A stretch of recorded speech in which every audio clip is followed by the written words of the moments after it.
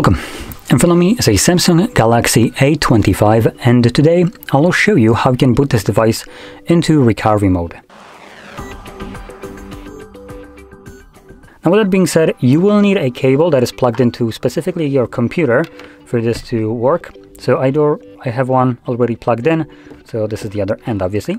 And all we need to do is just plug it in. There we go. You probably heard the computer there we go. Uh, sound that it detected that it's connected. Uh, anyway, from here, you can either unlock it or not. It's completely up to you. Allow access. We don't need that.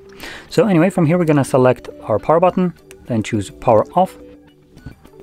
And once the device turns off, so once the screen goes black, hold your power button and volume up at the same time.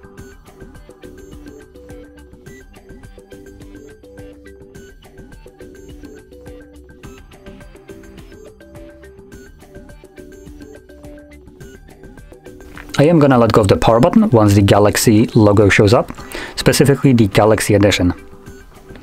And then once the recovery mode shows up, you can also let go of the volume up as well. Now, we can also get rid of the cable. It was only needed to get us into here. it's Samsung being a little bit annoying because why would it be as simple as it is on other devices? They just needed to add additional step to make it more annoying.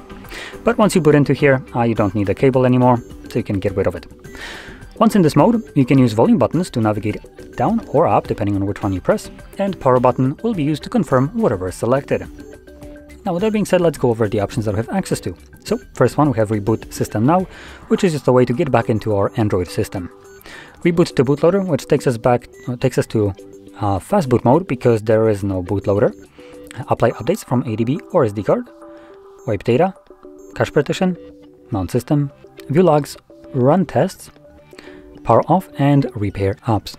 So those are all the options. Now I am gonna confirm the first one, reboot system now by pressing power button, which like I mentioned before, will take me back to Android.